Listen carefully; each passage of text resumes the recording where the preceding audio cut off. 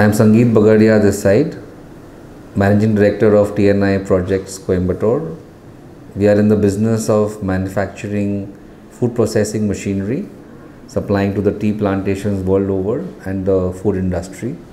To achieve world class uh, equipment, we shifted to CNC machining one and a half years ago from our conventional machines. We partnered with LMW and uh, we first bought one set of machines from them. And based on our experiences and their support we were then able to add another three machines in the span of 18 months.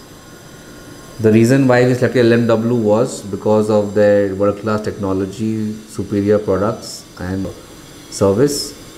All sectors we were very satisfied, interest in our business and because of that today we are running uh, two VMCs and three turning centers. And we have plans to expand those machines this year also.